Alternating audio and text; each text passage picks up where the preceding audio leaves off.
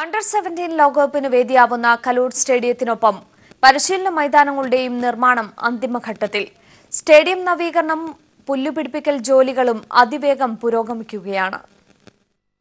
പരിശീലന മൈതാനങ്ങളായ Fort Kochi Veli ground parade ground Panampilly Nagar high school മൈതാനം Maharajas college ground എന്നിവിടങ്ങളിലാണ് പുല്ലുപിടിപ്പിക്കൽ ജോലികൾ പുരോഗമിക്കുന്നത്. ഒരേ സമയം മുന്നൂറ് തൊഴിലാളികൾ ചേർന്നാണ് പുല്ല് പിടിപ്പിക്കുന്നത് അതേസമയം പ്രധാന മത്സരവേദിയായ കലൂർ സ്റ്റേഡിയത്തിലെ ഇരിപ്പിടങ്ങൾ മാറ്റിവെക്കുന്നതുൾപ്പെടെ നവീകരണ പ്രവൃത്തികളും ദ്രുതഗതിയിൽ പുരോഗമിക്കുകയാണ്.